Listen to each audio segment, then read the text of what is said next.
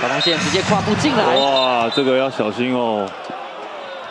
这个是不是有撞到头部的部分？要稍微看一下。对，落地的时候感觉是失去了平衡。是。我看一下中线的切入。哇，这一球好像是，好像是有多了一步的部分。一二三，哇，这个，但是头部应该是没有太大的撞击。对，看中线还是很稳稳的站起来，看这个角度有没有撞到头部。哇。